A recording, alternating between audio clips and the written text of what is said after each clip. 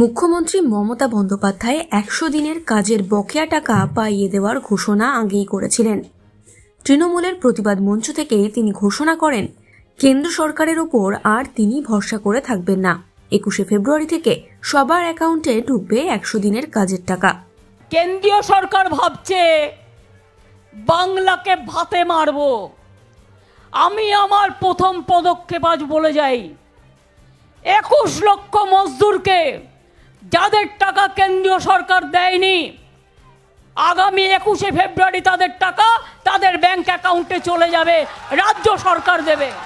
এবার সেই একশো দিনের কাজের টাকা পাইয়ে দিতে শুরু হলো সাত দিনের সহায়তা কেন্দ্র। রবিবার বিকেলে বিলকান্দা এক এবং দুই নম্বর গ্রাম পঞ্চায়েত এলাকায় সহায়তা কেন্দ্রের উদ্বোধন করেন শোভনদেব চট্টোপাধ্যায়। সহায়তা কেন্দ্র আমাদের গত দু তিন দিন আগে আপনারা জানেন গত পরশু মিটিং হয়েছে, আমাদের অভিষেক বন্দ্যোপাধ্যায় ডেকেছিলেন। সেই মিটিংয়ে অবশ্যই মমতা বন্দ্যোপাধ্যায়ের সঙ্গে আলোচনা করে এই সিদ্ধান্ত ঘোষণা করেছেন যে আমরা প্রত্যেকটা অঞ্চলে অঞ্চলে এই সহায়তা কেন্দ্র করব, যেখানে একশো দিনের লোক কাজ করেছে। এবং যারা কাজ করেছে, তাদেরকে একটা ফর্ম দেবো ফিল আপ করে দেবো। এই ফর্মটা এই ফর্মটা দেবো, তারা ফিল আপ করে দেবে। ফর্মটা ফিল করে দিলে আমরা দিয়ে দেবো মুখ্যমন্ত্রীর কাছে। মুখ্যমন্ত্রী ডাইরেক্ট ওনাদের ব্যাঙ্ক অ্যাকাউন্টে ওনার যে প্রাপ্য টাকাটা, সেই টাকাটা চলে চলে যাবে। সেটা একশো দিনের কাজও হবে আবাস যোজনাটা পরে হবে। আগে একশো দিনের কাজের টাকা তিনি পাঠিয়ে দেবেন। এই সিদ্ধান্ত নেওয়ার তো প্রয়োজন ছিল না। যারা কাজ করেছে তারা আইনসঙ্গতভাবে কাজ করেছে। মানরেগা একটা অ্যাক্ট সেই অ্যাক্টে অনুযায়ী কাজ করেছে। সে কাজ করবে এবং পারিশ্রমিক পাবে। এটা দুটি মধ্যে লেখা আছে। এবং দিতে দেরি হলে সুদ দিতে হবে, এটাও লেখা আছে।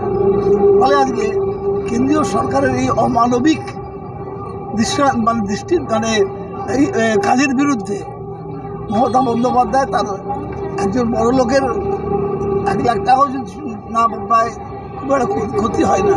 কিন্তু এরা যে টাকাটা পাবে সেটা না পেলে এদের অনেক ক্ষতি হয়ে যাবে। তাই তিনি বলেছেন আমার রাজ্য সরকার এই গরিব মানুষদের টাকাগুলো তাদের পাঠিয়ে দেবে যাতে তারা হাসি মুখে কাজ করেছিল পারিশ্রমিক পেয়েছে হাসি মুখে তারা জীবন ধারণ করতে পারে। তার জন্য প্রত্যেকের কাছে পাঠিয়ে আমরা দেখলাম যে বাজেটে এক লাফে লক্ষ্মীর ভান্ডারের টাকা এটাকে কীভাবে দেখছে? যে লোকসভা ভোটে মহিলা ভোটের কথা ভাবেন আমরা মানবিক দিক থেকে ভাবি। মমতা বন্দ্যোপাধ্যায় জেতার পর থেকেই দেখেছেন আপনারা যে তিনি নানা রকম প্রকল্প করছেন।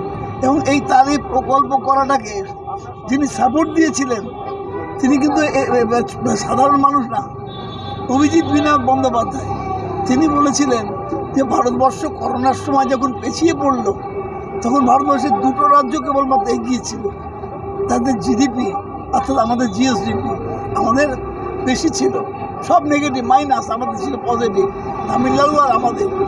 তিনি বলেছিলেন, গরিবের হাতে পয়সা দিতে পেরেছিলেন বলেই করোনার সময় যখন কেন্দ্রীয় সরকার থেকে সব রাজ্য পিছিয়ে গেল।